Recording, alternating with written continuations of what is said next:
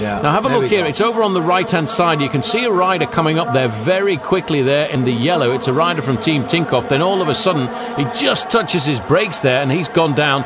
And then once the crash and the noise, it's, it's like an ice rink for these riders. They just cannot keep upright. I very rarely see anything like this at all. Well, it's almost like belly dancing in slow motion here as the rider's going down, just sliding on the foam of those left before them. And because of that, you see, rider just clouted the bike there, and the bike hits him on the head. I uh, tell you.